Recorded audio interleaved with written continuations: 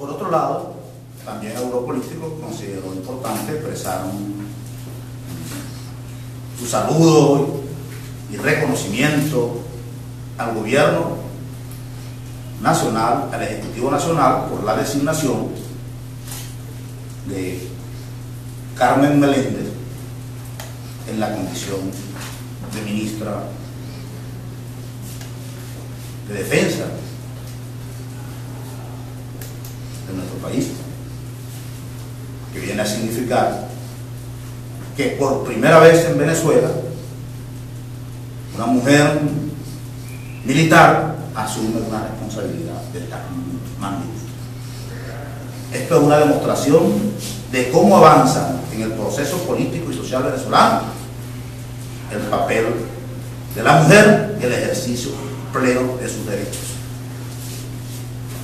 Hay que seguir luchando por la igualdad efectiva de estos derechos, pero hay que reconocer que en el proceso político y social bolivariano hay, fundamentales avances en esta dirección.